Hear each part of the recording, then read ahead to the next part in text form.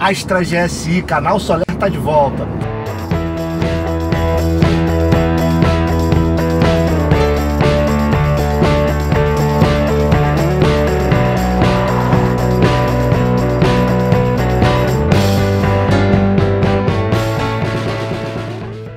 E dessa vez estamos com um carro que foi restaurado, tá? É um carro praticamente zero quilômetro. Só que ele tem uma diferença, ele tem uma melhoria na suspensão, que está com molas mais firmes.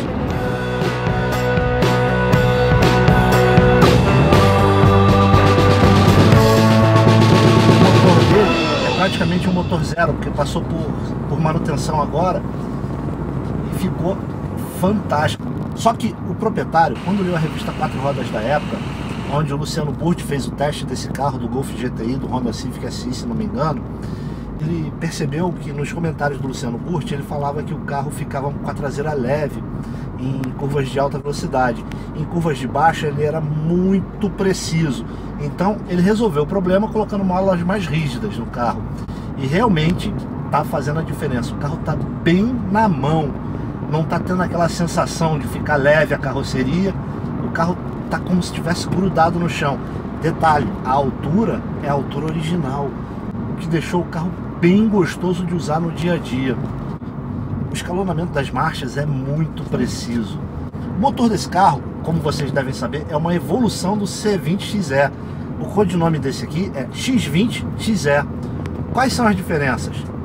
Comando de válvulas, né? ele tem um comando diferente que privilegia o torque embaixo.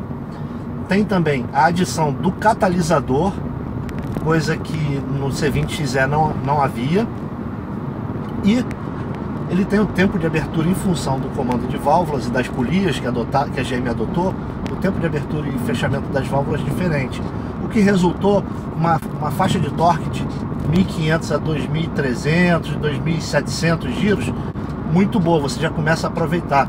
Mas em função do catalisador houve uma perda de potência. Em vez de render os 150 cavalos que estamos acostumados no C20XE, ele rende 136.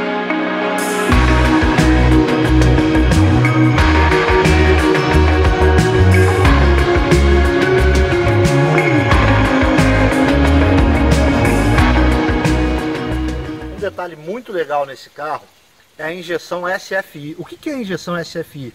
Ela injeta exatamente no cilindro que está tendo a combustão. Ou seja, mais economia e mais potência. Um item indispensável hoje em dia que todos os carros têm de série por lei e naquela época era um luxo e o opcional mais desejado é o freio ABS. Então, pessoal, o Astra GSI ele era um carro diferenciado. Por quê? Além de ter o um motor que era uma evolução do C20XE com 136 cavalos, ele era um carro que tinha um visual apimentado. Nesse caso aqui, esse carro tem um item exclusivo, que era um acessório de época. São essas lanternas aqui com esse vinco preto aqui e o degradê fumê aqui. Isso era um opcional desse carro que posteriormente foi incorporado à linha SS. É como se fosse aquele cara mau caráter que todo mundo gosta, mas que não é muito legal de você ficar andando com ele.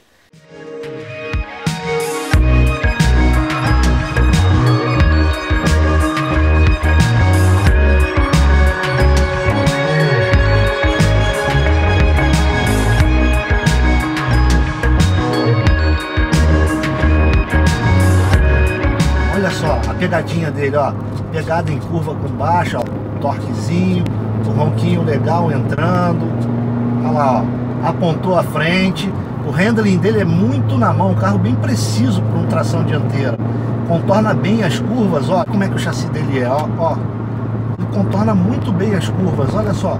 Escapou a frente um pouquinho, como todo carro de tração dianteira, mas nada, nada que vá assustar. E o GSI é o último lendário a usar essa sigla GSI, né? Que bacana! Ar-condicionado digital, quatro airbags, teto solar, tudo isso aí é a lista de, de opcionais. Ainda tem os freios ABS com disco nas quatro rodas. É um carro muito legal. Eu gostei muito desse carrinho. Só não se esqueça, curta, compartilhe e se inscreva no canal. Espero que tenham gostado desse carrinho que nós trouxemos para vocês.